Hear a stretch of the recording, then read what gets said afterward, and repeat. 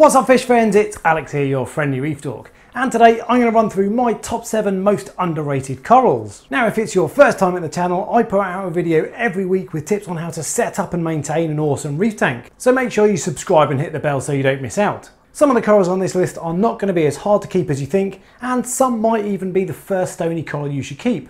So with that said, Let's get to the list. First up is Seriatopora caliendrum. When people talk about beginner SPS corals, they usually mention Seriatopora hystrix and Seriatopora guttatus. And while those are easy to care for, their thin branches grow in a non-uniform pattern that isn't particularly pleasing to the eye.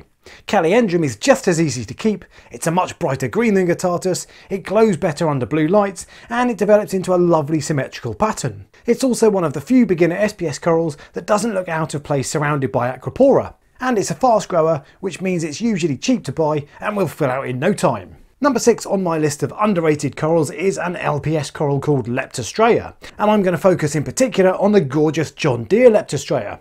Apart from its colouring, the real bonus of this is that it doesn't have long stinger tentacles like some LPS. And unlike most encrusting corals, this has a really fluffy looking texture which gives it a unique look. I love encrusting corals because you can put them on cool shaped structures to create a really interesting look.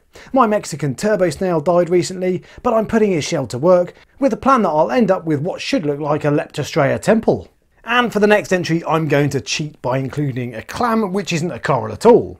Clams are absolutely beautiful animals though, and aren't all as difficult to keep as you might think. With Derasa clams in particular, you don't need to be a reefing genius to keep them, as they don't require such strong light. They do grow big and over a long enough period they'll outgrow most tanks, but we're talking years before they get to that stage, and most local fish shops will pay good money if you want to rehome a massive clam anyway. One thing to keep in mind is that fish like the cleaner wrasse, angelfish and butterfly fish will peck at clams, so you'll need to decide what you like most. Number 4 on my list of underrated corals is the Leptoseris. There are different colour varieties, but the stunning jack-o'-lantern is the pick for me. It's bright orange which is rare among corals, and has stunning yellow flecks to boot. They're another commonly available LPS coral and will form an encrusting pattern without sending out long stinger tentacles.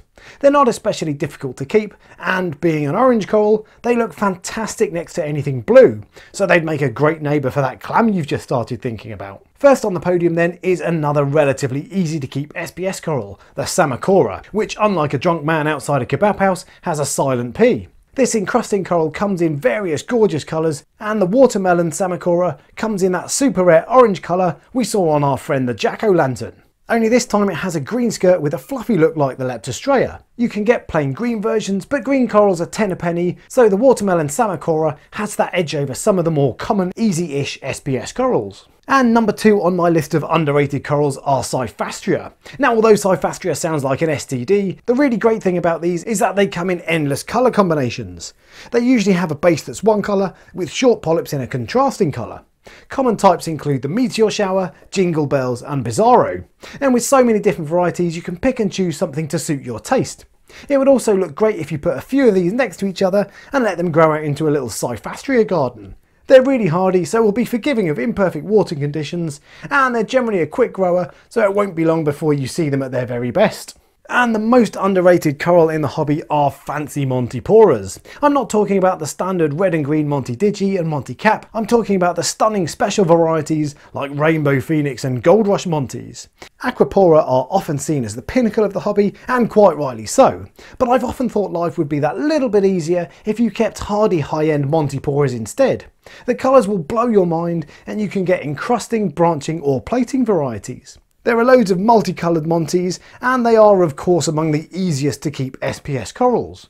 They usually don't require particularly high light, and because they grow fairly quickly, you'll be able to make your money back by fragging them, which makes the higher priced varieties a little more attainable. Of the more common varieties, my favourite is the Monty Undata. They have beautiful white polyps on a teal green base and form an awesome curling growth pattern. And of the more high-end stuff, I like the Montipora paulinensis corals.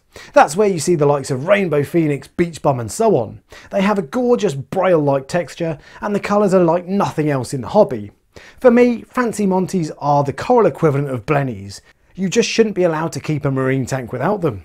So they are my top 7 most underrated corals, but I'd love to hear from you so let me know what yours are in the comment section below and as ever if you enjoyed the video give me a thumbs up and subscribe for next week and until next time, happy reefing.